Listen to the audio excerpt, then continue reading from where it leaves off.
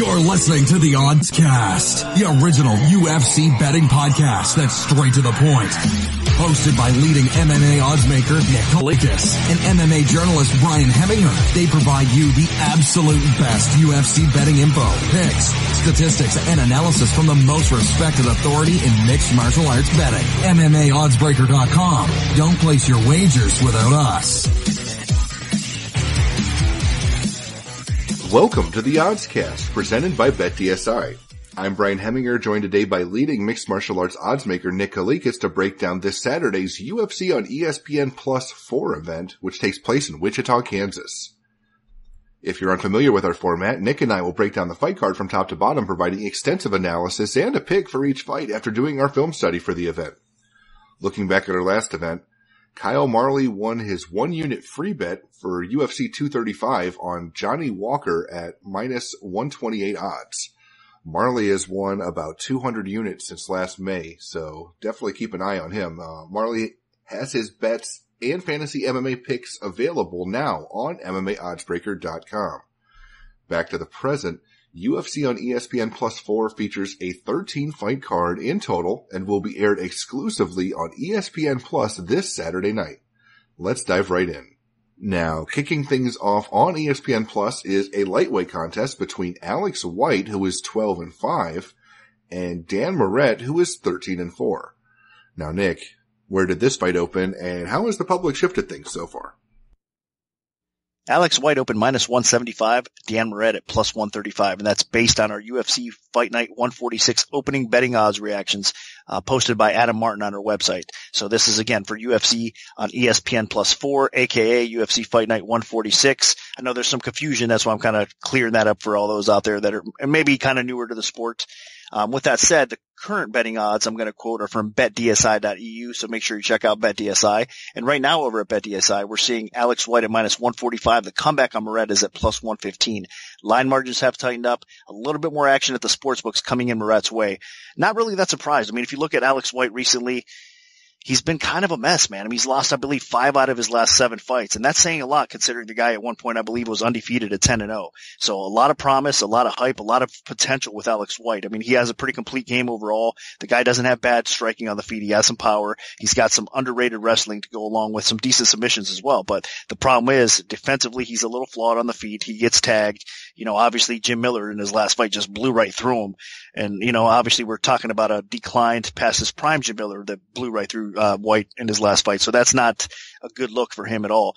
But that said, also his kryptonite has been put and getting put on his back. So some of those the promising factors that I was just talking about have been his kryptonite as well. So, you know, there's some spots that you like in Alex White's game that you see some potential again. I mean, he does have that knockout power and he does have the ability to win fights. It's just he hasn't put it all together enough to, you know, get on a roll here in the UFC. That said, Moret, a little bit more of a fresh person in the UFC. He's only had one true fight, and that was his UFC debut against uh, Gilbert Burns. But beyond that, I mean, he's a, a veteran of the sport. He's been around for a while, competing against decent competition outside of the UFC before he made his UFC debut, and has some solid wins on his resume. Another very complete fighter, trains at the MMA lab, a very solid game overall. Okay striking. I mean, nothing that's going to blow you out of the water. Again, defensively, he, there is a concern with him as well. He has been knocked out a couple times. Um, and I think out of the two, White probably does have the stand-up edge, and he is definitely the harder hitter here. So, I mean, if these guys are going to exchange, I trust White to land a little bit heavier here, and I think that he can win the stand-up battle. But Moret is going to be probably a little bit faster, and I think Moret is going to be dangerous as well. So White has to respect him on the feet. I think overall Moret does go for takedowns, and he tries to utilize his ground game. I think that's his best attribute, and he's got some pretty slick submissions, and he's quick to pounce on something. So if you make a mistake and you give up your back, I mean, Moret's going to go after it, try to submit you and finish the fight as well. So he's a very capable grappler, and again, he's a pretty well-rounded fighter. But when it's all said and done, how they match up here, I'm not sure if, if Moret's wrestling is going to be enough to get White down and, and to kind of utilize his strengths again White against White. I think this is going to be a pretty competitive fight back and forth, and I'm actually leaning towards White here. I think he could do a little bit more damage on the feet. Again, I think he's going to win the striking battle. and I think he can probably keep off his back enough to win this fight. So not a, a, very clear fight. I think it will be competitive. Um, I can understand why the dog actually came in on Moret, but I think I'm going to go the other way and I'm going to pick White to win this fight. Yeah, this is a bit of a striker versus grappler matchup. Uh, White clearly wants to keep this fight standing, work his uh, boxing, kickboxing, whatever. Uh, Moret is definitely looking to, to get this fight to the floor. Um, the main thing here is while Moret is a decent ground fighter and has some takedowns, it feels like every time that he's really stepped up his game against somebody UFC caliber, he hasn't been able to get away with a win. Now, White is not the best fighter on the planet, obviously. I mean, he's what, uh, three and five, I think, in, in his UFC run so far. So, you know, he has not had the greatest UFC run, um, and especially has not had the most success since moving up to lightweight. He's gone one and three at that weight class, but, uh, I'm still not a huge believer in Moret. He's not the most athletic guy. Um, he's not a very good striker on the feet, so he is absolutely going to need to take this fight to the floor to win. Um, and while White has had some issues with takedown defense, I'm just not quite sure I trust Dan Moret enough to consistently get this fight to the floor. And then once he gets to the floor to be able to either keep White down or finish the fight on the ground. So I think, uh, White can do enough damage on the feet. Uh, we saw Moret get, you know, steamrolled in, uh, against Burns, but, you know, Burns at least had a huge ground game to fall back on that Moret had would have trouble taking the fight to the floor in the first place. So um, Burns was a lot more well rounded than White, And um, that being said, I, I just I think uh, White gets the job done here. I think uh, he he does enough damage on the feet to wear Moret down, and then uh, Moret is going to have uh, a little bit too much trouble uh, consistently keeping White down. So I'm going to pick Alex White. I think uh, at some point he lands uh, enough strikes to to finish this fight, uh, probably by TKO. Now moving up to the welterweight division, we have Alex Morono, who is 15 and five, taking on Zak Ottow, who is 17 and six. Now, Nick, where what's the MMA odds makers perspective on this one? Morono open minus 190. The comeback on Ottow at plus 150. Right now over at BetDSI, it's minus 180 plus 150. So line margins have tightened up. There is two-way action coming out of this fight. Seems like Ottow is a little bit more of the popular player pick for this card. I don't know. I mean, I think this is a very close competitive fight as well. I think these guys are both on the same tier as far as quality, um, fighting goes. I mean, I don't know. I don't think one I could see this fight basically going either way is what I'm trying to say here because I think Morono actually has a solid edge on the feet. I think he is the more dynamic fighter as far as landing that one pure knockout punch that can clearly put the lights out of Ottow. Ottow has been knocked out three times in his career and, and Morono has those fists that are just underrated. I mean, he, you don't think he's got that kind of knockout power and the guy lands and he just puts you out. So I think he does have the edge on the feet. I think Ottow has the edge on the ground. And in the past, Morono has had some issues with guys getting on top on the ground, out wrestling him, holding him down a little bit as well. Um, he does manage to get back up and his takedown defense is improving and he does have some submission skill on the ground. I mean, especially his guillotine choke, you definitely have to be um, worried about if you're going to take Morono to the ground. Um, that said, that's why I think it's going to be a close competitive fight because I think Ottow does have a path to victory here. I think the striking is going to be close and competitive. Ottow isn't exactly a terrible striker on the feet. Uh, he can put it together pretty well and, and make things interesting on the feet and, and probably um, push a little a bit of a pace on Morono at times. And like I said, make it interesting. But I think eventually the longer it stays on the feet, Morono is going to probably land that knockout blow and put Ottow away. Um, so that's why I'm leaning a little bit more towards Morono here. I think that Ottow is going to utilize some of that wrestling if he has to, but he might not go to it enough early on, and I think that might cost him as well. So all depends on what kind of game plan Ottow has here and how tough uh, and his chin's going to hold up here. But with all that said, I still don't trust him enough. I think there's more upside to Morono, even though he's had kind of a roller coaster ride in the UFC thus far. Both these guys kind of have, and they've had their you know good moments in the sport as well. But I just think as far as they, this matchup goes, you got to be concerned at the betting window. You can't really trust either guy at this point, but I lean slightly a little bit more towards Morono for my personal opinion here. Yeah, this fight basically boils down to activity rate. You know, Morono's not the, the most technical striker, but he pushes a high pace.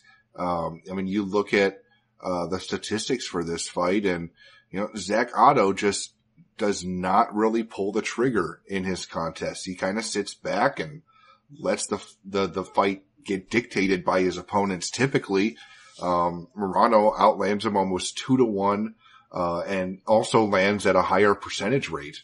Um, so and has better defense. So, I mean, as long as this fight stays standing, Zak Ottow is going to have a lot of trouble. He's going to have to probably land like a big knockout blow. He's got some power, so it could happen, but I just think it's unlikely. Um, I mean, if Ottow is going to win this fight, it's either going to be with a, a, random knockout out of nowhere or he's going to have to land a takedown. Uh, Ottow has decent takedown uh, offense and Morono is not the greatest with takedown defense, so it could happen, but, uh, Ottow also has been keeping fights upright for the most part. I mean, his last fight, he took on a pure kickboxer, um, as a huge underdog and it was not the most competitive fight, but I mean, he kept it upright for the most part and ended up winning a decision. So, or split decision. Uh, but I just don't think that's going to be the case here. Uh, his last opponent, Ottow, uh, that Alexander dude just would not pull the trigger in his f- fight either. Like it just looked like he was afraid to. So, uh, I don't think that'll be the case with Morono. Uh, Morono's going to be throwing leather for the entire duration of this fight. Uh, that's just the way this guy operates. I mean, he's aggressive and he throws in volume and that's allowed him to, to defeat some people that he shouldn't have defeated, honestly. Uh, so I think, uh, in this fight, I mean, unless Ottow can land that big shot or consistently get takedowns, then Morono is going to walk away with a one-sided decision. So Morono's going to be my pick. Now dropping down to the bantamweight division, we have Louis Smolka, who is 15 and 5, taking on Matt Schnell, who is 12 and 4. Now, Nick, where did this fight open, and how has the public shifted things so far? Smolka opened minus 210. The comeback on Schnell at plus 160. Looking over at BetDSI right now, Smolka's minus 125. The comeback on Schnell is at minus 105. So line margins have tightened up a little bit. Two action coming into this fight but a lot more early action coming in on Schnell. And I'm saying two way action because we're seeing some more action coming in Smolka's way right now as we speak. So this should be a good fight. I mean, this is definitely a fight for fans in a bantamweight division that they probably are looking forward to because you got two high quality, high caliber fighters here that have fun games to watch overall. I mean, Smolka, every one of his fights in the UFC, even before he got, you know, cut from the roster or whatnot, he, you know, even in his losses, he's performed, man. I mean, the guy's an exciting fighter to watch for sure. He's a warrior. Um, you know, he could take some punishment, obviously, on the feet. He could dish it out as well, but his attribute, um, by far, his best attribute is obviously the ground game and some of the scrambles and some of the transitions that we've seen him, you know, in his past fights in the UFC. Just a thing of beauty. So I think Smolka is definitely you know, a welcome addition back to the UFC roster. And he proved that by, you know, coming back and, and getting another win and uh, kind of starting a, a, new fresh win streak, I think, for him here and the UFC, are at least capable of doing so with another win over a, a very game opponent, Schnell, um, at this card here. So I think with that said, Schnell is another very solid opponent that he's facing here. And I think he's a very capable fighter in his own right. I think he's got good striking. He's got good boxing. In fact, on the feet, I think Schnell's boxing is going to be a difficult thing for Smolka to take. I think Smolka is going to have to deal with a lot of pressure from uh, Schnell coming forward and, and, utilizing some of that. And, and that's one thing that Smolka's had difficulties with in the past is some good boxers coming at and just kind of getting through that defense and lighting him up a little bit. So, but one thing that you could, you know, definitely count on Smolka is he's game. He's not going to quit. He's going to absorb that punishment and keep fighting. So I don't think Schnell's going to be able to knock him out. But again, that is a concern if you're going to back Smolka in this fight. I think on the feet, he gets tagged up a little bit by Schnell. But that said, as far as chins go, I do trust Smolka's better. Like I just said, I think he can, he's more durable. He can absorb it better. Schnell has been uh, a, a, bit chinny in the past, uh, you know, and I know he's, you know, been in some firefights and his chin has survived pretty well at times, but still I don't trust it as much in this spot here against Smolka. So with that said, uh, I think the ground edge actually goes to Smolka. I think he's wrestling has improved by leaps and bounds. It keeps on getting better, and I think it's going to be a real threat in this fight. Schnell in the past has had some problems outside of the UFC as well, getting put on his back. Now he's got a great grappling game, great transitions. He's got a dangerous guillotine choke. You have to be very cautious of taking Schnell down and putting him on his back. But that being said, a guy like Smolka that's very good submission defense overall, and is like I said, his transitional game on the ground is phenomenal. I think he's going to be fine, kind of scrambling and battling and grappling with Schnell on the ground. So I think that's what's going to happen in this fight. I think The exchanges on the feet are, are going to be competitive at times, but Schnell should have the edge as far as boxing goes. But overall, the durability factor and the ground game of Smolka is going to come into play here, and he's going to get the W. So I do think that this is a good fight for Smolka to come back and win. Also, uh, just a side note, if you look at the resumes, I mean, there's no comparison in my opinion. Smolka's fought by far the better fighters throughout their career. Schnell his last two fights in the UFC are his best wins, I think, of his whole career. So, I mean, you can't compare the resume. Smolka's been in tougher wars. He's been, you know, and I think through tougher competition. And I think that this is just going to be another quality win on his resume here. So the pick is Smolka. I wouldn't be surprised if he gets it done inside the distance. I'm not too concerned about this fight taking place at bantamweight because both guys have historically fought at flyweight. Uh, they really, neither guy has a significant size advantage on the other. Um, Smolka, you know, he did not have the greatest run to end his initial UFC uh, stretch, but he earned his way back, and then he looked really good uh, in his return. And you know, this is a guy with a really nasty ground game. I mean, he has tenacious ground and pound, excellent submissions, um, and a decent uh, ability to get the fight to the floor. Um, on the feet, he's always been a bit limited. Uh, but I mean, he has had his moments on the feet uh, with his kicking game. But uh, for the most part, I think Schnell will have the edge in that department, even though Schnell's chin has been shaky historically as well. Um, but my main thing here is even though Schnell does have a little bit of a wrestling and takedown game, uh, I think at some point Smolka gets this fight to the floor and then that's where he's going to be able to dictate everything. I mean, he is just that much better on the canvas than Schnell. So, um, I'm going to go with uh, Louis Smolka. I think overall the ground game is just too far ahead and beyond of what Schnell has, and I don't think Schnell's advantages on the feet are enough to overcome that. So uh, I'm going to side with Louis Smolka. I think he gets this fight to the floor, and I think uh, he either TKOs or submits uh, Schnell within the, the first or second round. Now, moving up to the heavyweight division, we have Maurice Greene, who is six and two, taking on Jeff Hughes, who is ten and one. Now, Nick, what's the MMA oddsmakers perspective on this one? Hughes open minus 150, Maurice Greene open plus 110, and right now looking over at BetDSI, we are seeing Hughes at minus 215 the comeback on Greene at plus 175. So no surprise here. Hughes got bet up a little bit as he should have. I mean, these guys had a fight not too long ago against each other and Hughes came away with a title win. Actually, it was a five round um, fight, which was a, a, pretty solid fight. I mean, I think it was a great fight for both men at that point of their careers, knocking on the door of the UFC, of course, at that time as well. And again, Jeff Hughes ended up uh, getting the decision win, and that, and that, was, I believe, at LFA 38 um, that he got um, a win over Maurice Greene again by unanimous decision. So it wasn't too long ago; it was back in uh, April 2018. So now they're fighting again in the UFC. Of course, Maurice Greene had some Ultimate Fighter experience um, since then, and you know had a little bit of success um, and mixed results, obviously, you know, getting a loss on the show as well. But that said, I mean, this is a guy that has just a huge frame for the weight class, for the heavyweight weight class. I believe he stands six foot seven and the guy's skill set is crazy because the guy has great striking, uh, for a big man. I mean, he's got that unorthodox striking range. He's got good clinch work to go along with it. And if you put the guy on the ground, I mean, off his back for being more of a striker, the guy actually has some really good submissions. I think he's more of a threat in MMA underground than he is standing at times. So that's what you got to deal with with uh, Mo Greene. He's definitely not an easy out wherever the fight takes place. I mean, there's a concern. He's a type of fighter that's a finisher, and you're in danger everywhere. But Hughes, on the other hand, is one of these guys that again has been around the game for a little while. He's an Ohio guy. He's he's trains with uh, the champion, former champion, UFC champ Stipe Miocic.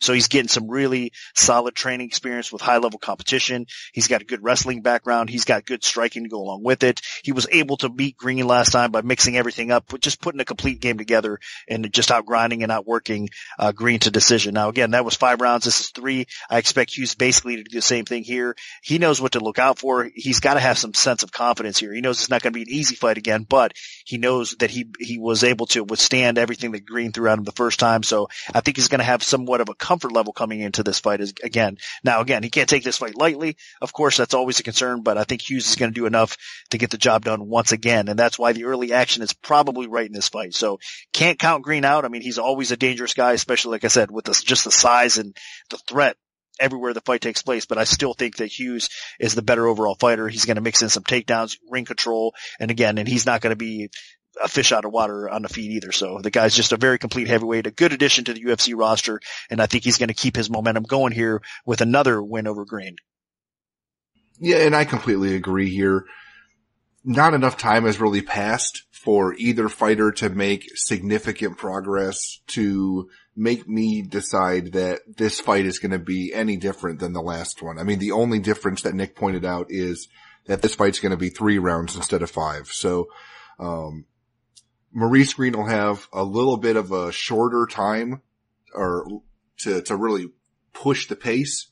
So if he's a little concerned about gas tank or anything, I guess he can just go for it a little bit more, uh, with it being a three round fight compared to five but Jeff Hughes still has the the same advantages that he had the last time. I think uh, he's just a little bit better on the feet, and he definitely is better on the ground with his wrestling. Um, so overall, I think that he's just going to get this fight to the floor and keep it there, and uh, and then outpoint Greene when it is standing, because Greene's probably going to be worried about if and when Hughes takes this fight to the floor.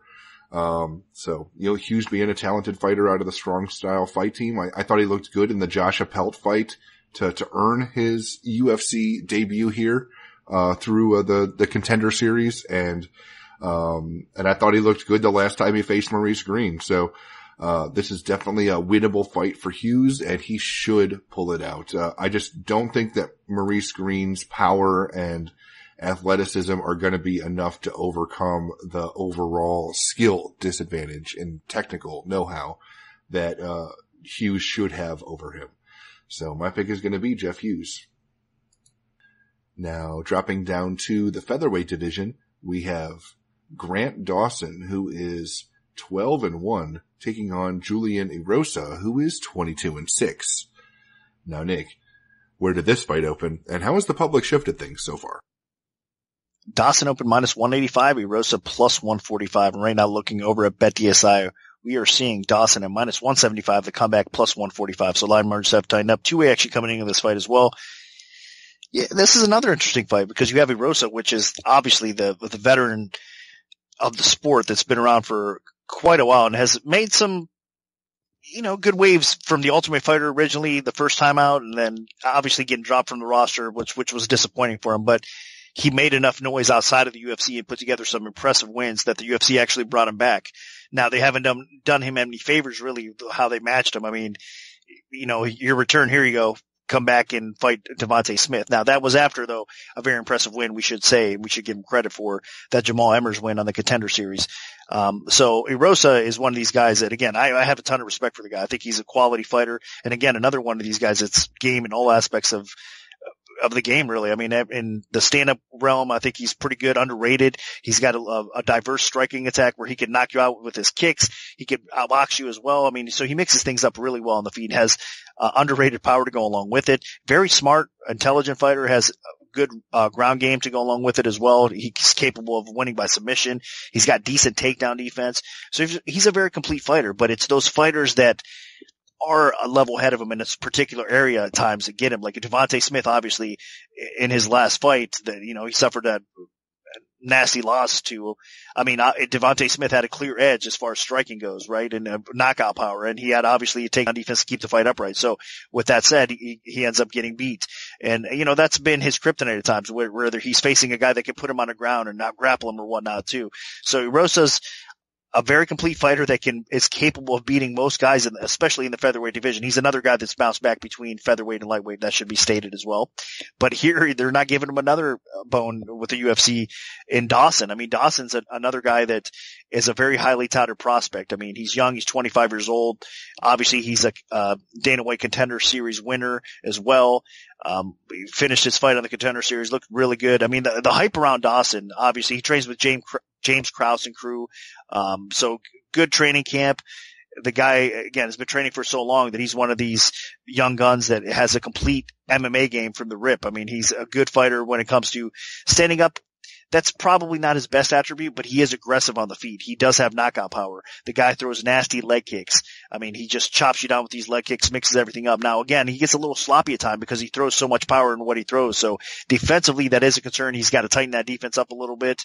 Um, but other than that, he does have a great ground game. He goes for takedowns. He, has got a solid wrestling foundation. And then once he gets on top, it's fun to watch this guy work. I mean, he just brutalizes his opponents at times with some nasty elbows, ground and pound. And then if he takes your back, he, he's capable of submitting you as well. So Dawson is a threat everywhere the fight takes place. So he can knock Erosa on the feet. He could take him down, probably avoid obviously his submissions and have his way with him on the ground as well. So again, stylistically, not an easy fight for Erosa. And uh, again, the up and coming Dawson is kind of getting fed a guy that will make him look that much better if he gets a win over. I think this is kind of how the matchup goes here. So no favors for Erosa here. I think Erosa is going to be a very game fighter and difficult, especially for Dawson on the feet if Dawson can't get the takedowns here, it's going to get really interesting. But that said, again, I think he is capable of landing a knockout blow along the way. So it's hard not to like Dawson in this fight. I mean, it's, I think he has several ways to win this fight. He can win on the scorecards by just riding out top position at times on the ground if he has to. He can knock Rosa out or again, again, I think,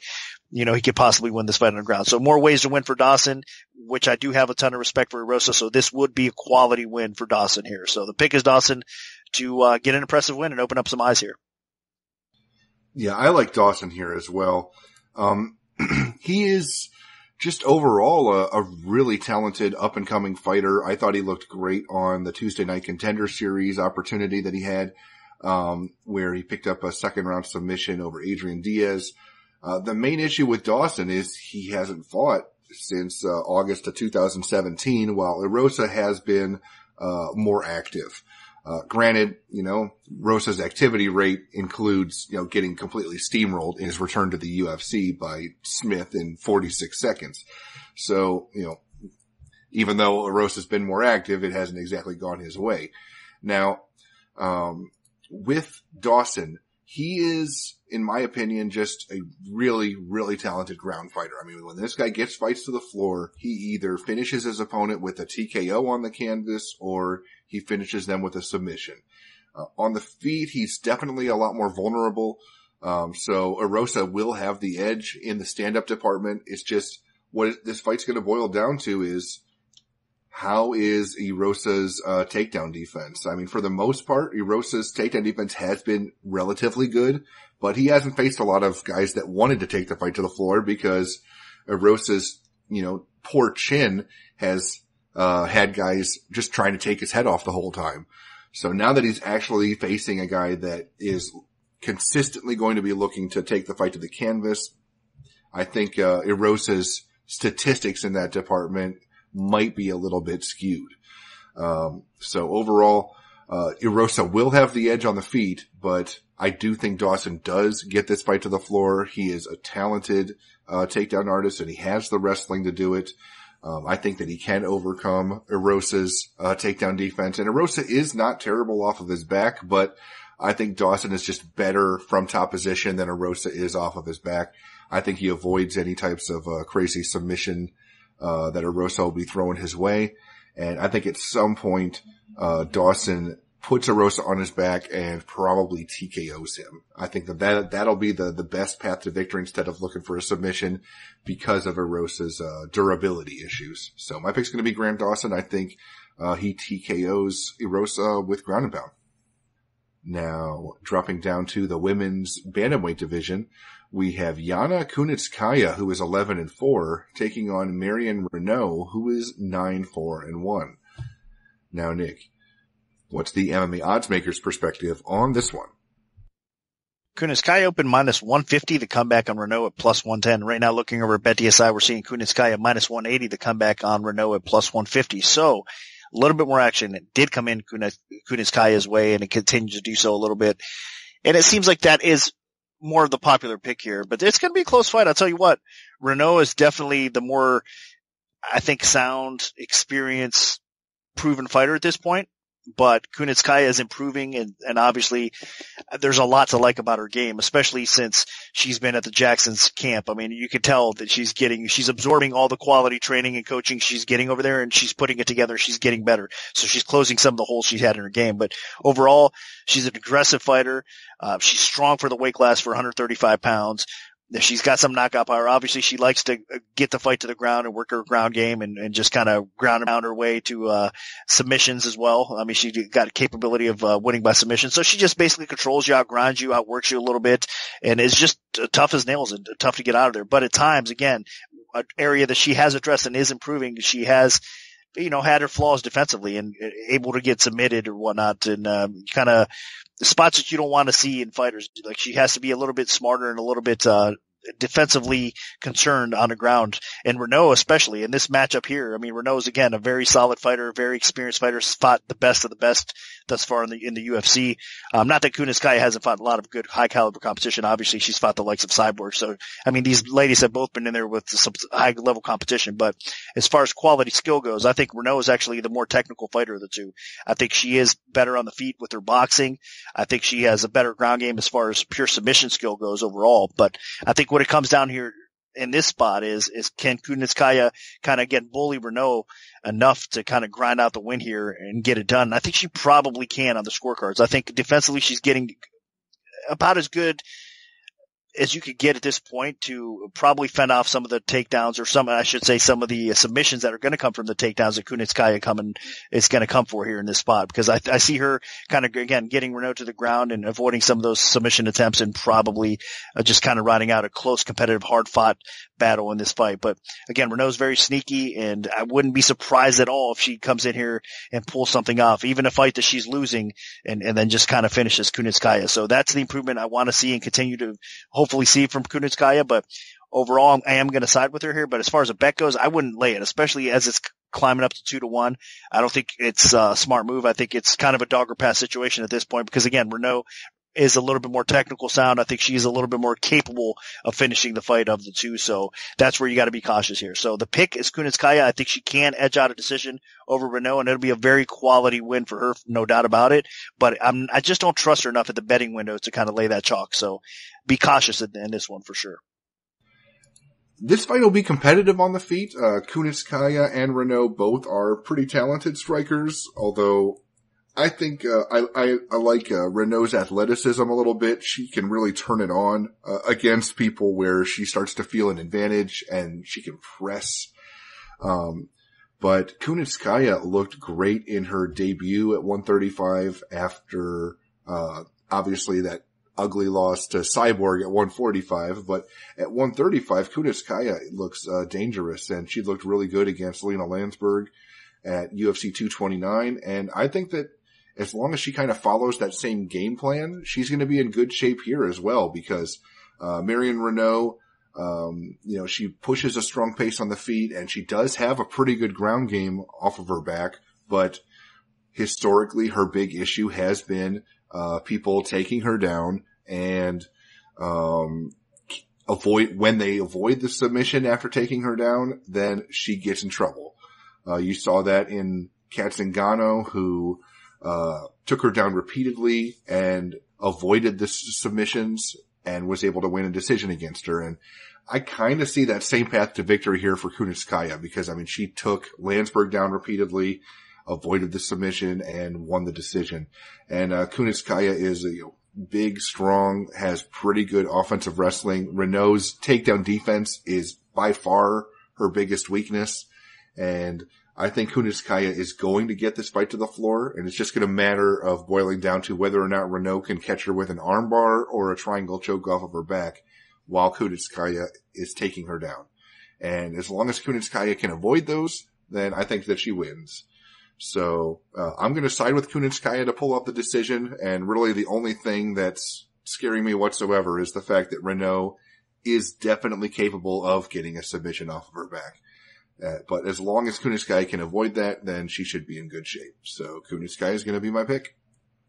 Now, moving on to the welterweight division, we have Tony Martin or Anthony Rocco Martin, who is 15 and 4, taking on Sergio Moraes, who is 13, 3 and 1. Now, Nick, where did this fight open and how has the public shifted things so far? Rocco Martin open minus 210. The comeback of race plus 160. Right now it's minus 210 plus 170. So line margins have tightened up a little bit to reaction coming into this fight. I think a lot of people are definitely, I think, not sure which way to go with this fight because Martin has been phenomenal recently, and, and Moraes definitely gets some respect as well because he's a very solid fighter. Obviously, he's one of the better uh, ground practitioners in the sport. Period. I mean, the guy is phenomenal on the ground and ground whiz. But Moraes has also improved through the years. He's definitely improved his striking ability, and he's got underrated punching power, honestly, to, to, go along with it. So he's no slouch anywhere the fight takes place. Um, and if, especially if he gets you to the ground, obviously it's, it's probably over. I mean, right then and there, even if you have a solid ground game like Martin does, I mean, you're not going to compete with a guy like Moraes on the ground in most cases. I mean, look at what he did with Ben Saunders last time out. I mean, Ben Saunders has a phenomenal ground game, never been subbed, and uh, Moraes goes out there and just makes it look easy. So that's how special this guy is on the ground. I think that's why it's tricky because whenever you have somebody of that caliber on the ground, you always got to be concerned. But you know what? It's hard not to pick against Rocco Martin at this point, man. I, t- I tell you what, he's been nothing but impressive. I mean, he's, you know, his health concerns or issues. That he's straightened all the, the little flaws with his conditioning. Everything has been, improved significantly in my opinion, you know, and, and he's talked about it and he's definitely on the right path and he's looked phenomenal. Like I said, he's on a nice three fight win streak. Um, and against solid competition. If you look at the likes of Ryan LaFlare, Jake Matthews, I mean, pulling off some great wins. And before that, you know, he's, he's just, to me, he's putting together everything mentally, physically. He's always had the skill as far as technique goes because the guy, he could always get better as far as being a more devastating and more nasty striker, of course, but the guy has really good wrestling and he's got a good ground game to go along with it. So he's one of these fighters that's fun to watch in all aspects of the game. Now, of course, against Moraes here, he has to be cautious because you don't want to wrestle. He does, he doesn't. He wants to use his wrestle, wrestling defensively, obviously, to keep this fight upright and use a little bit of distance and control the striking aspect. Get behind that lead jab and try to pick Moraes apart on the feet. And I think he's capable of doing that. But that's again where it's tricky here because Moraes is going to be throwing some thunder as well. You know, if, if this fight doesn't take place on the ground, then I think Moraes is going to be the one that's a little bit less concerned about throwing harder punches at Martin. So Martin has to be cautious, but I think Martin's going to be able to pick Moraes apart and with that accumulate enough strikes to put him ahead and either win on scorecards or maybe even finish Moraes along the way. So I'm not going to go against Martin. I mean, I, like I said, to me, he's just looked very impressive mentally, physically. He's starting to figure things out and with that skill set that he has 170, 155. I mean, the move up to welterweight has looked great for him as well. So uh, I'm not doubting this guy right now. So he's looking good. Uh, he's going to keep that momentum riding, I think, and he's going to get a very solid win over a game race in this spot as well. Sergio Moraes is an elite ground fighter without an ability to get the fight to the ground, uh, but he's been able to make it work uh, with several wins inside the octagon because some guys are afraid of the ground and they've allowed him to dictate things on the feet. Um, or Moraes has landed, you know, a couple big bombs and actually picked up some wins on the feet throughout his run. Um, but I think against Tony Martin or Anthony Rocco Martin, as he likes to be called now, um, I think Martin is just going to be way too much for him here. Uh, Martin has looked tremendous since moving up to the welterweight division. I think not having to cut as much weight has really been a big boost for him. And considering that he was a big, uh, lightweight, the, the transition to welterweight has been very smooth. I mean, he's facing a guy in Sergio Moraes where Martin actually is the exact same height and actually has a, a bit of a reach advantage. So, I mean, he's, he's now fighting guys more his size, but he's not cutting as much weight. And I think that that really was the biggest thing that was holding him back in the lightweight division, uh, where he had a lot of strong starts and fights. And early in his UFC run, he was, you know, gassing out and losing after the first round. Now, uh, against Moraes, uh, Martin's going to have a huge striking advantage. His jab is going to be killer. Uh, I think he'll mix things up really well. And as long, and Martin has a pretty good ground game as well. So, Uh, he's had multiple, you know, impressive submission finishes, but that's not going to happen against Moraes, um, because Moraes is just ridiculous ground fighter. So if this fight does go to the floor, I think Martin, at least his skill level is good enough to avoid getting submitted, but I just don't think that this fight goes to the floor because Martin is going to try to keep this upright and just outland Moraes. Uh, Martin has some good power that has actually translated well at 170 pounds. Um, he can do some damage and uh, I think as long as this fight stays standing, Martin's going to get the better of it consistently and uh, potentially can knock Moraes out, but at worst, he outpoints Moraes over the course of three rounds and at least wins a decision. So I'm going to side with uh, Anthony Rocco Martin. I think that he continues his run at 170 pounds. Now, moving on to the main card, we have a middleweight contest between Tim Boetsch, who is 21 and 12, and Omari Akhmedov, who is 17, 4 and 1. Now, Nick, what's the MMA odds makers perspective on this one? Akhmedov opened minus 230 the comeback on Boetsch at plus 170. And right now we're seeing Akhmedov at minus 140 the comeback on Boetsch at plus 110. So needless to say, all action coming in on Boetsch. Not really that surprised. I mean, the way they match up here, it is definitely an intriguing fight. And I know Akhmedov isn't exactly a fan, a fan or better friendly fighter as, as far as the betting window goes. I mean, a lot of people aren't uh, looking to go crazy out there and rush to bet uh, on Akhmedov in fights, put it that way.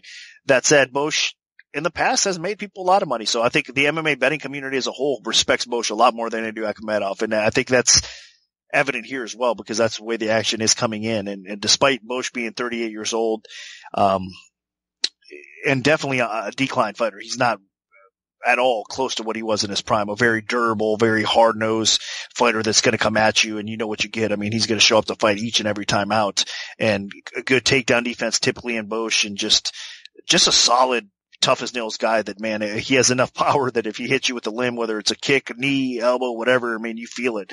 So he's not quite that motion, but he still has that old man strength kind of. I don't want to call him an old man. That's a bit disrespectful here because he's obviously he's out there competing at a high level still, but you know what I'm talking about. I mean, he still has that strength and that power that's not going to go away and combine that with decent takedown defense. I can understand why everybody's coming in a little bit more sort uh, on Boetsch here, but again, I don't think he is the fighter that he once was. I know, you know, obviously uh, Antonio Carlos Jr. was able to dispose of him rather quickly in the first round um, of their fight. He didn't make it past round one.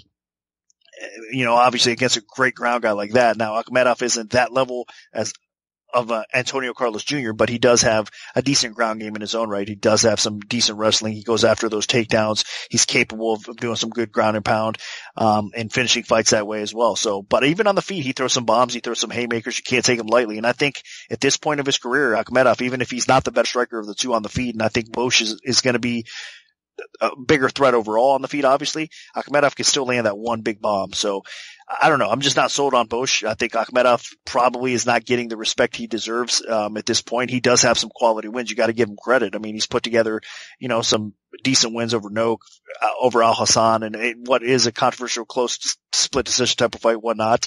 Um, and then again, that Vettori fight in his last fight, Vettori, I think is probably a little bit better than uh, people give him credit for. And Akhmedov was able to to hang in there with a lot of decent fighters or a lot of tough competition, and Boetsch is just going to be another one of these guys. So what I'm trying to say is, I think a lot of people were counting Akhmedov out a little bit too soon here. In my opinion, I think he can and is capable of winning this fight, even if it is a stylistically a tough matchup. So not confident though. I'm, I'm not going to go out there and tell you guys to bet Akhmedov or anything like that. But at this point, I'm probably going to go the other way and against all the betting action coming in uh, with Boetsch, and I'm going to side with Akhmedov. And I think Akhmedov surprisingly gets uh, the W here. Again, not a very confident pick. This is definitely one I could see realistically going either way. So if you're betting this fight, approach it with caution. But again, I'll, I'll side with against the public and with um, Akhmedov here in this spot because I do think he's being underrated just slightly in this spot. And I completely understand uh, that Akhmedov being underrated. I mean, the guy historically just goes out and gets takedowns and gets wins. Um, when he doesn't win, it's when he has issues with the takedown game. It's when he's slowed down and, uh, when he's faced guys that had good, uh, grappling backgrounds. And you know, Tim Boetsch does have a pretty good grappling background. He's a strong offensive wrestler. Um, now his takedown defense is not amazing. Uh, at 57%, it's, I think it could be good enough. Uh, you know, you look at the guys that have been able to put, uh, on his back. Part of it was when he was fighting at, you know, light heavyweight. Uh, you know, guys like Phil Davis. Um, so I, I do feel like, uh, Boetsch is capable of, uh, stuffing takedowns from Akhmedov. And when he does, Boetsch is definitely going to have the edge on the feet. I mean, this guy is an absolute powerhouse. He has heavy hands. He has a good chin and, uh, and he can really lay into somebody like Akhmedov that does have some durability issues. So uh, I feel like Boetsch definitely will have the edge on the feet and Akhmedov is going to be looking for, uh, takedowns repeatedly. And if Boetsch can stuff those takedowns, then he's going to be in really, really good shape. So, you know, this is an interesting fight. Uh, Boetsch has that, you know, a little bit of a judo and, uh, wrestling base that he can fall back on. Um, you know, he hasn't looked the greatest at times, but I'm still a believer in Tim Boetsch and I think that he does have some gas left in the tank.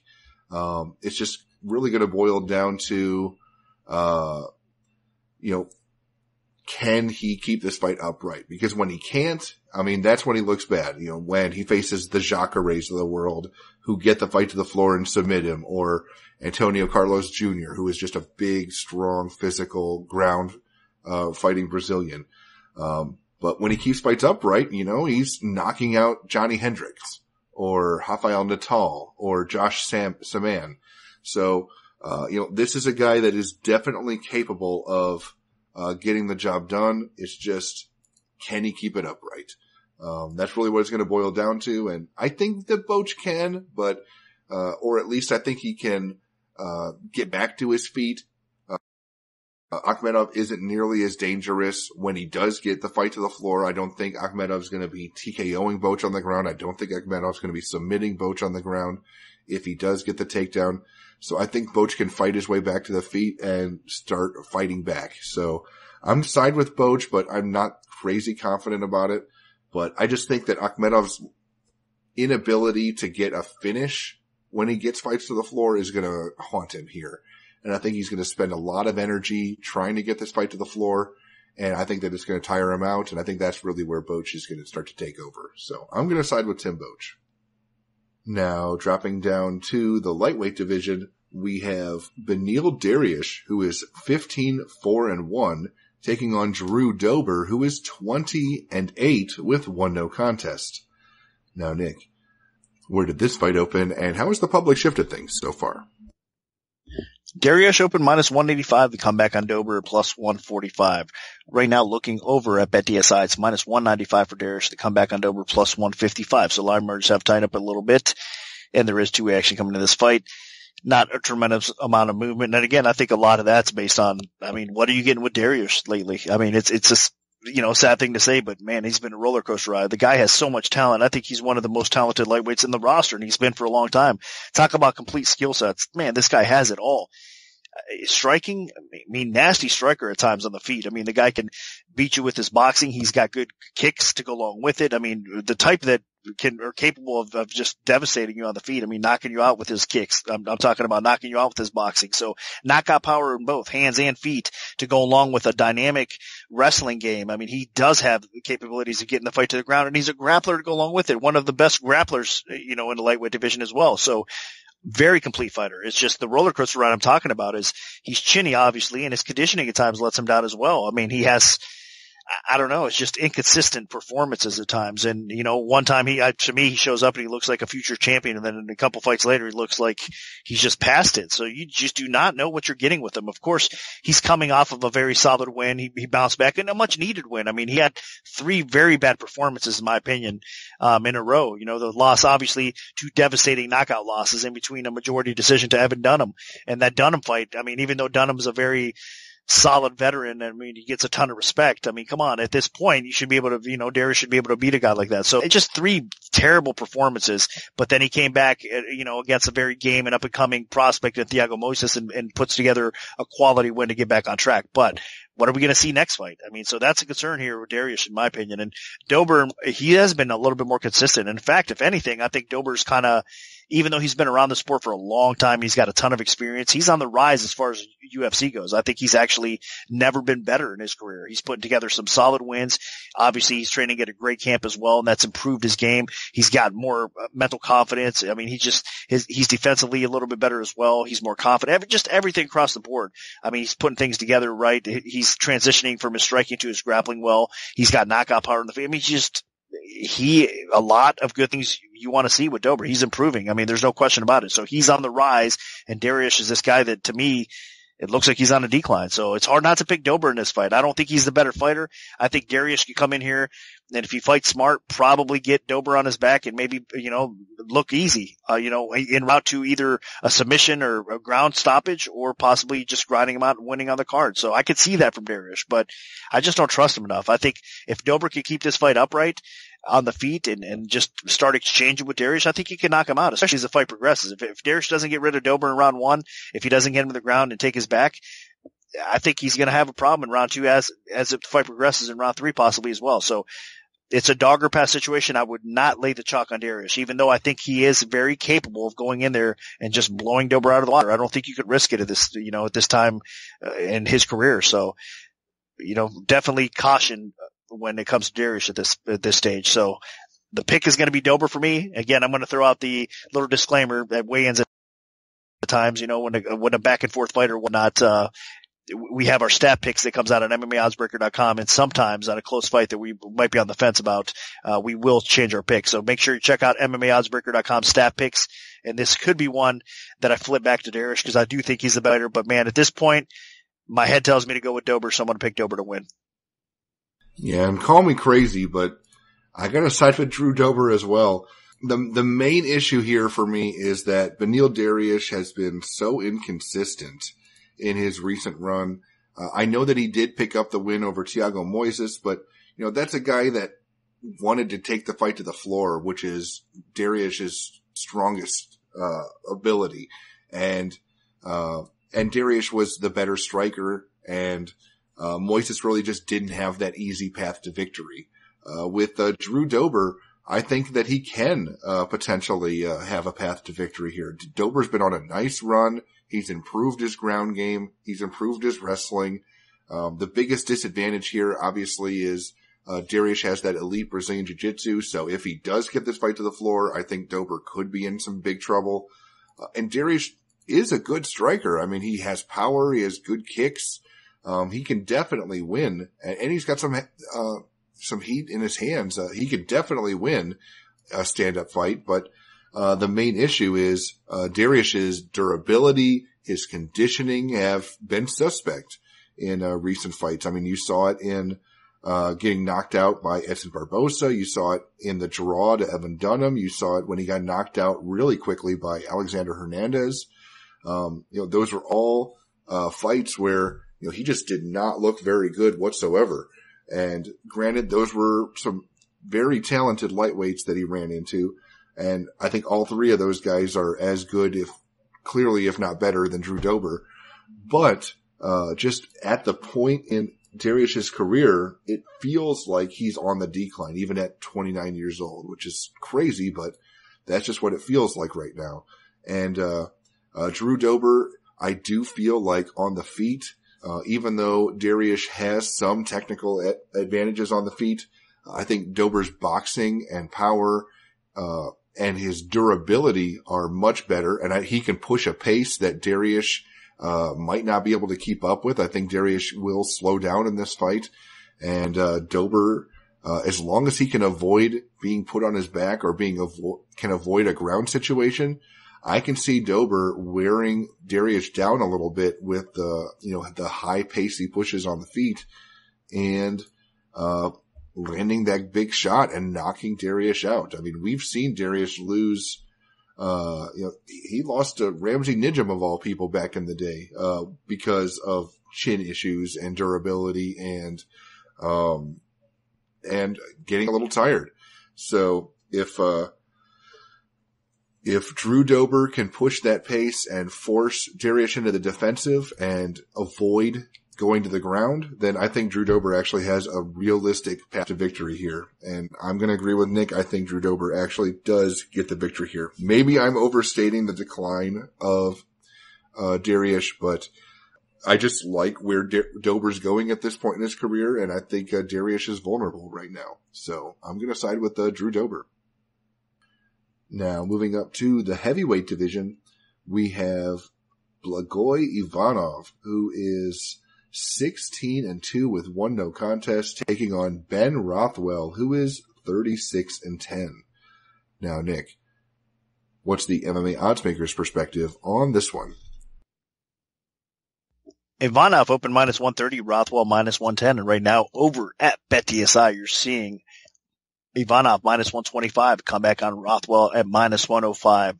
Interesting heavyweight clash. I mean, first things first, we got to point out that it's been about three years, almost three years since we've last seen Rothwell. Now he had a knee injury and after that he got busted by USADA. So he's been on the shelf. So we're going to see what it's like coming back from that long left for Rothwell. I mean, that is definitely a head scratcher for me, in my opinion, because Rothwell had some pretty decent momentum you know, going his way, despite coming off the loss to JDS. Of course, I know that, but I'm saying like, you know, he, Rothwell was definitely one of the better heavyweights on the roster at that time before that, coming off a very impressive win before that JDS loss to, um, from, you know, he beat Josh Barnett and he beat him by submission.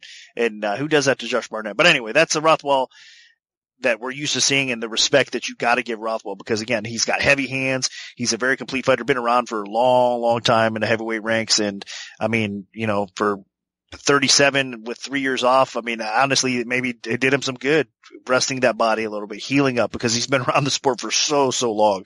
But that said, Rothwell is still one of the better heavyweights on the planet and you got to respect the guy. What, but I do think Ivanov is going to be a, a test for him here making his comeback return. I know another fighter that lost to JDS recently as well. I mean, and, and credit JDS because he fought a smart fight, outpointed Ivanov. Ivanov was not able to close that distance and he might have a similar problem with Rothwell. I mean, Rothwell obviously doesn't move as well and as smooth as JDS does on the feet. So I don't think it's going to be as much of a problem for Ivanov to close that distance and try to land those strikes on Rothwell. But that said, still, he's going to be the shorter fighter. He's going to have a five rich, five inch um, reach discrepancy, pure reach that is.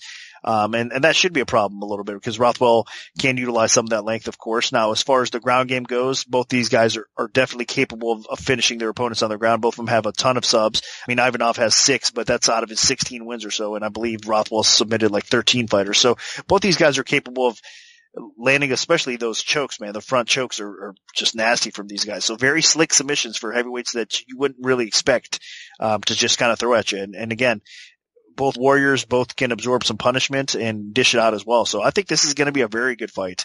Um, I'm going to lean again, go outside of everybody's common pick here. And I think a lot of people are thinking that Rothwell's going to come back and just automatically run through Ivanov, especially after seeing the problems that he had against JDS. I think this is going to be a different fight for him. And I think he can have a little bit more success everywhere this fight takes place for Ivanov. And again, obviously most of it should take place on the feet here because I think they probably neutralize each other out as far as wrestling goes. So with that said, I think Ivanov again closes that distance and putting together some combos that uh, bother Rothwell along the way, and maybe lands enough to to get Rothwell out of there along the way as well. So I think this is going to be a great heavyweight battle, and I'm going to go against the grain and pick Ivanov to win this fight. So it should be fireworks, and I'm expecting it to be, and I hope it does live up to my expectations at least.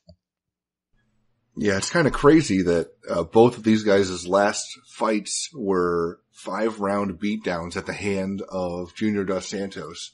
Um, but, uh, Ben Rothwell, he took his beating with grace and then, uh, went and tested positive for some, uh, banned substances and took a two year suspension.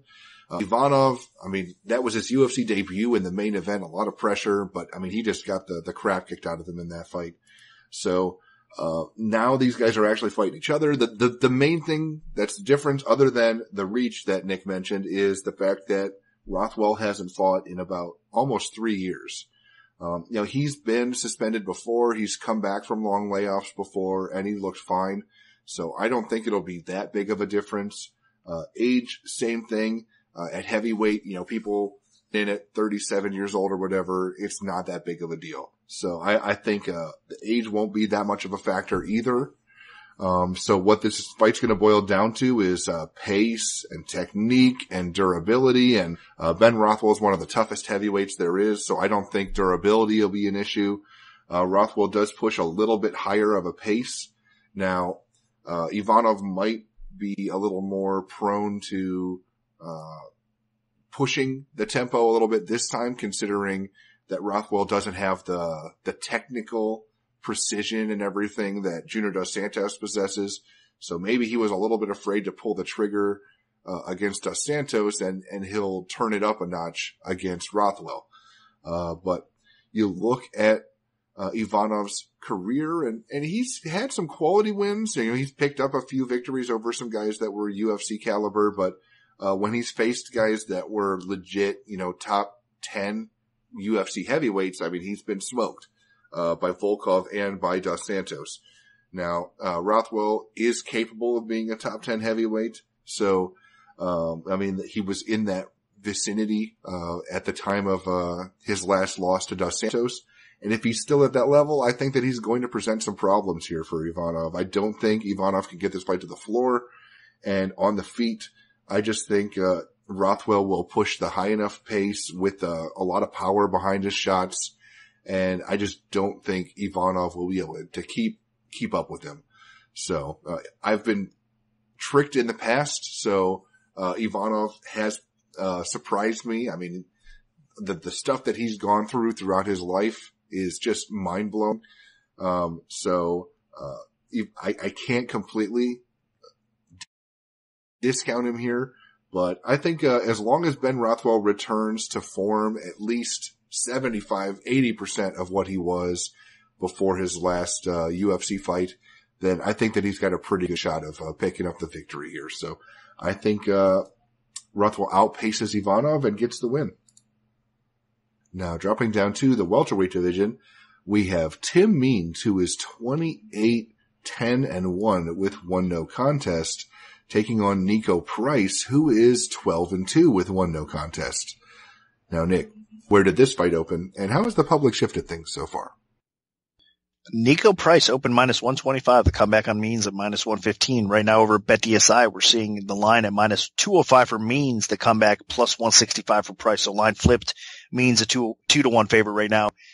Rightfully so, honestly, as far as Means being the rightful favorite. I think, I mean, from what he's accomplished and what he's been through through his career, it's hard not to, to favor Means in this fight there's a lot of similarities between the two. I think they're both nasty finishers that are capable of, of going out there and just destroying people at, at, times. I mean, when they're on, they're on. It's, it's, it's pretty fun to watch these guys compete as well. So a lot of similarities in that nastiness aspect of it. But overall, Means is, is the more complete fighter in my opinion, and he's been the more battle tested fighter. And I trust him a little bit more at this point. But that said, out of the two, I think that there's more upside right now in price because I think he still has a lot more room for growth. Whereas Means, I, I honestly think he's uh, on a bit of a decline. I mean, he's obviously still capable of winning a lot of fights in the welterweight division, and he's going to do so. But I still think that he's definitely not peaking right now. He's taking a few steps back. His fights are getting a little bit more competitive. He's not finishing as much as he, he can or he has in the past as well. Now, of course, uh, competition levels drastically changed and it's getting, you know, a, to a crazy level with Means because he get nothing but hard fights. And he's coming off, I'm saying all this and he's coming off of a finish again, um, in his last fight over a very game Ricky Rainey. So that said, I still think overall though, I don't see Means on the rise. I, I do think that he's kind of going to be gradually declining as his career progresses from this point. And I think Price again has that upside and that room to improve and get better fight by fight. So that's what makes this fight a little bit tricky for me. I, I could see these guys both going out there and just being capable of, of putting it on each other and, and um, of causing some issues back and forth. I mean, both these guys are vulnerable at times of getting put on their back. Both these guys um, have a bit of a ground game, and if they get on top, they could definitely do some damage as well. So it all depends on who gets positioning in this fight and and who's a little bit more durable. With so with all that said, I think I still do trust Means. I think he is a little bit more durable in my eyes, and he's a little bit more defensively sound of the two. So even though Price is more of the wild man, in my opinion, more of the wild gun, and you don't know what he's going to go out there and and do at times. I, I, he's a little bit more unpredictable. I still think that Means gets the job done here, and I, I just trust him and depend on him a little bit more in this case. So my pick is Means, and now where the price is now at two to one, I think the value is obviously gone. Those of you guys that came in and chewed up all that, uh, you know, light chalk early on, I think that was the way to go. And where it is right now, it's a little bit tougher to bet at two to one. So approach it with caution where it is right now. But early on, those of you guys that got the early numbers, hats off to you. Yeah, this fight's interesting to me because, you know, Niko Price has had his moments in the UFC and uh, Tim Means, I mean, he's been around forever. This, I think, his 18th fight inside the octagon. Um, Price is coming off of a horrific fight where he just got crushed by Abdul Razak Alhassan in, in 43 seconds. Means, on the other hand, is actually coming off of a win where he won in a, a minute 18. But before that, he lost a back to back split decisions against guys that, uh, maybe against Belal Muhammad, I can understand because of the pace Muhammad pushes but he should not have lost to Sergio Moraes. If he doesn't get submitted by Moraes, he should not be losing, especially in a fight that's primarily taking place on this, on the feet. So, uh, that was really disappointing. And I'm hoping that he bounced back, that he got his confidence back with the Ricky Rainey fight. But if, uh, if the Tim Means show, that fought Sergio Moraes shows up uh, against Niko Price, he's probably going to be in trouble because Niko Price is a guy that uh, is aggressive and has power and uh, looks for the finish consistently.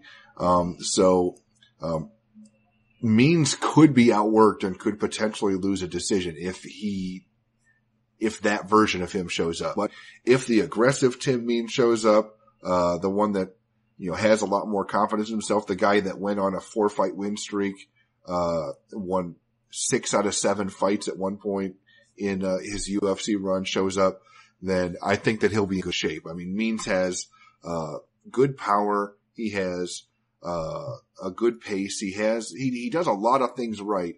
Um, but he also has had some issues with guys that can potentially get fights to the floor or, uh, sometimes he just gets outworked on the feet by, uh, a good technician or somebody that throws at a high volume. So I'm a little concerned about that against Price but I also have a lot more confidence in Means' durability, um, and the fact that, you know, he has been in the UFC for so long. He's seen a lot of things and I don't think Niko Price brings anything to the table that Tim Means hasn't seen before.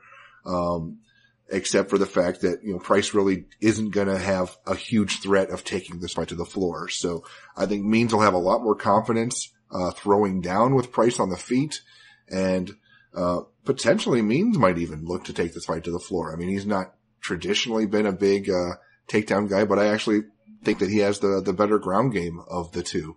So, uh, I, I, think Tim Means just has a, a, few more ways to win and I trust his chin and his power. And as long as he trusts it, then he should be in relatively good shape here against Niko Price. I think that he could win, uh, by knockout. He could win by submission, could win by uh, decision. So I like the path to victory for Tim Means, and I think uh, he does get the victory here on Saturday night.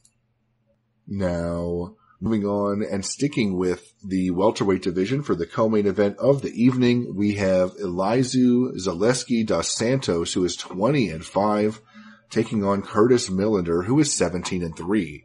Now, Nick, what's the MMA oddsmaker's perspective on this one? Millender up in minus 125, Zaleski dos Santos at minus 115 right now. What you're seeing over at BetDSI is Millender minus 130 even money. So line marks have tightened up. There is two action in this fight. It's been bouncing around a little bit, but more support coming in Millender's way, and it seems to be the popular side overall. I mean, again, another spot. How could you argue what what you've seen thus far from Millender in his UFC career? It's only been a few fights. I mean, but in those three fights that he's had, holy cow! I mean, the guy has definitely faced good competition and he's performed really well to say the least. So another one of these guys that's kind of coming into his own. I think he's the best he's been. He's been outside of the UFC.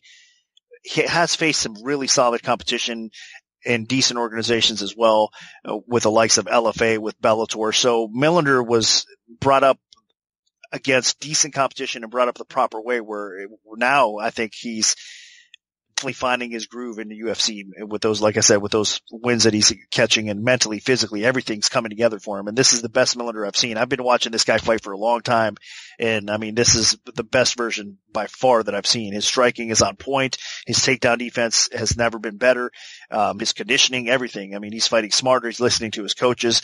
There's a lot to like about Millender. So again, with people coming in, it's seeing all that quality uh, surrounding Millender and how well he's performed. I don't, I'm not surprised at all that they're, you know, coming in that way. But that said, man, I think people are counting as a Zaleski dos Santos a, a lot of ways as well. I mean, I know it's been a little bit longer since we've last seen him compete, but let's not forget what this guy's capable of. I mean, he's put together some impressive wins in his own right. I mean, you know, getting rid of Sean Strickland like he did not too long ago. Uh, I mean, that was really impressive. Uh, Griffin, Max Griffin, we've seen him competing at a high level. Uh, Lyman Good. I mean, just Akhmedov getting rid of him like he did early on. And uh, I believe it was, um, his second UFC fight or so. But so, that said, you've seen the progression and, and the improvements of Zaleski's game. And I mean, some of the striking that we've seen him put on his opponents has been a thing of beauty as well. And then all to go along with it though, he does have a capable ground game. He's capable of getting uh, some takedowns. He's capable of reversing things if he is put on his back. So he is a very complete fighter as well. It's just his punching power and his accuracy and his striking, what he throws, his unorthodox striking ability is just, uh, like I said, it's fun to watch him strike. So I think this is going to be a fun fight in all aspects of the game. These are two of the better welterweights right now on the roster. They're kind of ascending towards the top of the division. So I, I love this matchup. I'm, I'm, glad they made it, and it's fitting to be a co-main event as well. I think it de- deserves to be up towards the top of this card. So really looking forward to it. But again, I'm going to kind of go inside with Zaleski dos Santos in this spot. I've been a little bit more impressed with him overall, and I think he is the better fighter of the two as far as complete game goes. I know again I've said a lot of good stuff about Millender, but I, I still do think there's a, a little bit to be desired on the ground from him. He can get controlled. He can get put on his back and he can uh, get beat on the ground a little bit from better ground fighters. And I think Dos Santos does have the ground edge on as far as this fight goes and this matchup goes. Now, that said, I wouldn't be surprised if maybe Millender gets top position at a time or two along the way because I think Millender is going to want to try to explore that option because both these guys are extremely dangerous, as I said, on the feet. So both of them, I think, will attempt to get a takedown or two along the way. But I still think Dos Santos wins the over, overall ground battle. I think he's capable of maybe even finishing Millender on the ground. But if not, I think on the feet, he's going to have enough success to probably steal a decision or never know. Like I said, these guys are capable of knocking each other out. Maybe Dos Santos does catch Millen or knock him out on the feet as well. So there's just more ways to win for me. And, and I do think Zaleski Dos Santos is the better fighter. So this is a dog or pass situation for me. And I think I'm going to pick dog here and Zaleski Dos Santos to get the win, a quality win over a very game Curtis Millender. This is a terrific matchup and, and Curtis Millender has really impressed so far in his brief UFC run. Obviously that huge win in his debut over Thiago Alves was crazy impressive, getting a, a, stoppage victory over a former title challenger. And he hasn't really slowed down yet. I mean, granted, he hasn't got a stoppage victory since then, but he's still been picking up some uh, decision wins over some uh, tough opposition. But uh, the thing that I really like about Elizeu uh, Zaleski dos Santos is the well-roundedness of his game. Now, clearly, more recently, he's been obliterating people with some spinning attacks and flying knees. But uh, this is a guy with uh, an excellent ground game to back up his offensive striking ability. Uh, and he's on a huge roll right now in the welterweight division. Uh, Zaleski dos Santos, uh, this is a guy that you cannot sleep on right now. He has, uh, knockout power on the feet. He has submission ability on the ground. He has a little bit of wrestling to get the fight to the floor if he wants to. Um, and, uh, I do think, uh, on the feet, he pushes a really high pace and, um, has some excellent striking defense. I mean, this is a guy that I think is going to hold his own with Mill in the feet and, that's not an easy task because Millender is, you know, at six foot two in the welterweight division with a 76 inch reach. You know, he's a guy that, uh, is going to pose a lot of problems to a lot of people. And, uh, his size is so far been very frustrating for people to, to, to try to figure out. But I think, uh, Zaleski is going to be capable here. I mean, he's only giving up three inches in reach. Um, he's only an inch or two shorter. So I think uh, Zaleski actually is just as good of a striker, if not better. I think his durability is excellent, so I'm not too worried about him eating a shot coming in, uh, trying to get inside the range of Millender. And uh, Millender's takedown defense so far has only been 57%, and he hasn't faced somebody even close to the ground level of Elizeu Zaleski. So I think, uh, you know, Zaleski's going to hold his own on the feet, if not potentially get the better of Millender because of, uh, just some of the crazy things he can do here with some spinning attacks, jumping attacks, some explosive attacks that he can, uh, bring to the table. But I think uh, Zaleski also can get this fight to the floor, and that really is the biggest weakness. Uh, Millender is not very good on the ground. Um, I mean, he's okay when he's in top position, but uh, if he gets put on his back, he's he's really going to struggle here. And I think that's really where uh, the biggest advantage for uh, Dos Santos is. So uh, I'm going to side with uh, Elizeu Zaleski Dos Santos. Uh, Millender is long and difficult to deal with, but I think uh, Elizeu Zaleski Dos Santos has the striking ability to hang with him on the feet and then has the edge on the ground as well. A big edge. So I think at some point, uh, the fight does go to the floor and we're really going to see the difference in ground skills here. And, uh, might get exposed a little bit. So I'm going to side with Elizeu Zaleski dos Santos. I think he gets the victory. Now this brings us to the main event of the evening in the heavyweight division we have Derrick Lewis, who is 21 and 6 with one no contest, taking on former champion Junior Dos Santos, who is 20 and 5. Now, Nick, where did this fight open, and how has the public shifted things so far? Junior Dos Santos, JDS open minus 145. The comeback on Derrick Lewis at plus 105. Right now, looking over at BetDSI, you're seeing Junior Dos Santos at minus 205. The comeback on Lewis at plus 165. So more action coming in JDS's way, of course, not a, not a big surprise in that aspect of things. There's no question who the better fighter is. I mean, Junior Dos Santos is by far the better fighter here in all aspects of the game. Again, Derek Lewis is just a powerful guy that's durable, that's tough, that if he, man, he gets on top of you in a fight, you're on your back, you're in some serious trouble because this guy drops absolute bombs. Um, and also, if you're in trouble in a fight if you don't take him serious. And even in the third round, you could ask Volkov. I mean, he was minutes or seconds, I should say, away from winning that fight. And bam, one shot gets through from Lewis and it changes the whole complexion of the fight. So that's the kind of knockout power Lewis has. Now, he doesn't always let his hands go and, and just release that nasty knockout power, you know, and, and against JDS, he's going to have to kind of do that if I think for his chance to win, he's going to have to let those um, hands go. He's going to have to take some risks. He's going to have to try to close that distance because JDS is the superior striker by far. He's going to be able to utilize that striking advantage. He, JDS has the ground game here as well. I mean, he's, he's got an advantage everywhere the fight takes place. He doesn't utilize that wrestling a lot of times, but if he has to, he can do so. And if he has to shoot for a takedown, get on top of Lewis and, and drop some bombs, I wouldn't be surprised if he does that. Not that that's going to be his path to victory, but this is a five round fight. And at times, man, you have to adapt and go with the flow. If he sees, sees himself in danger, wouldn't be surprised if he does kind of change course and go that route. But the danger there is if Lewis reverses position, he's a hard guy to keep down and gets on top, then you're in some serious trouble, like I said. So I'm not going to spend a lot of time on this fight. I mean, I think this has potential to to kind of be one of those boring fights that, that these guys kind of sit there and look at each other a little while. JDS kind of circling around, waiting, picking Lewis apart a little bit, but kind of respecting Lewis's power and Lewis just kind of sitting back and trying to figure out a way to get inside. So this could be a very dull, boring heavyweight fight.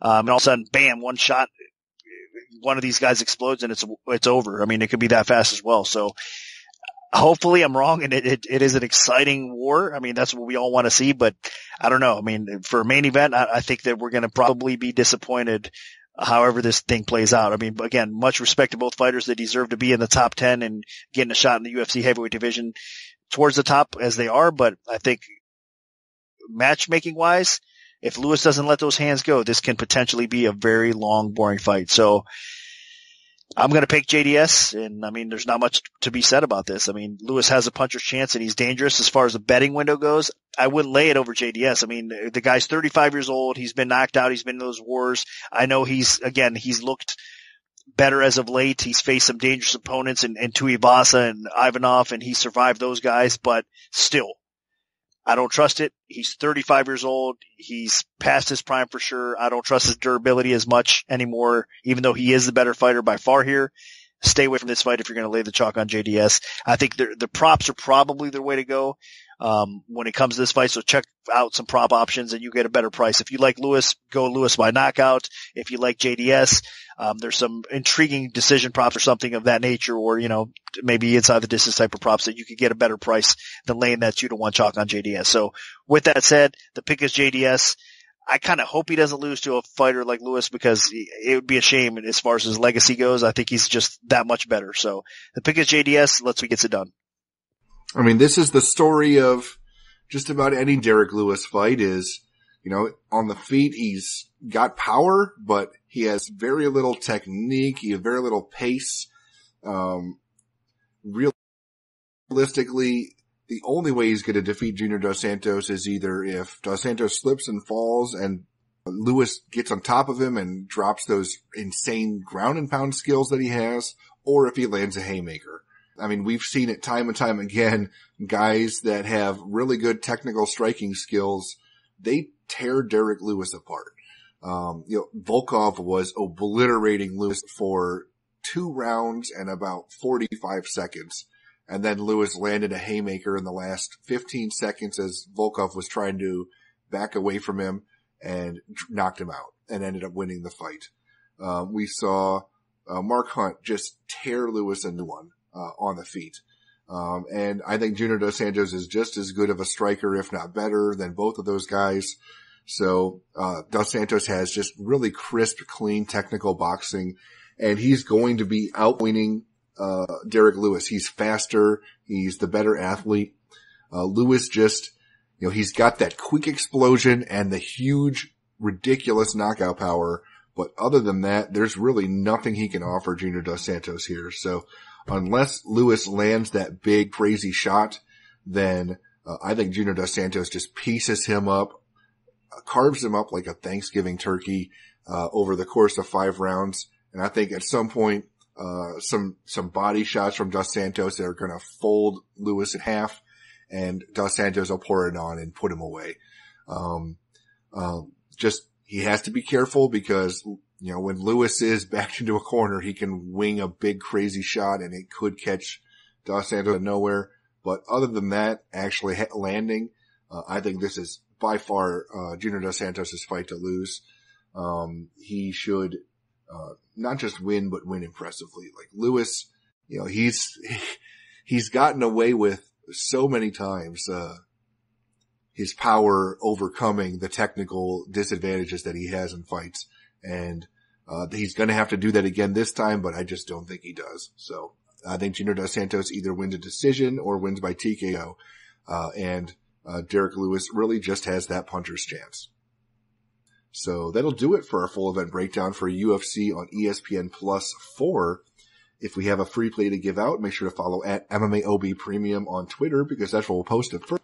We can also notify you of our free bets via email alert if you prefer that method. Just send an email to picks at MMAoddsbreaker.com and we'll add you to our free bet mailing list. Special thanks to BetDSI. Good luck everyone, and hopefully the betting gods are on your side this weekend.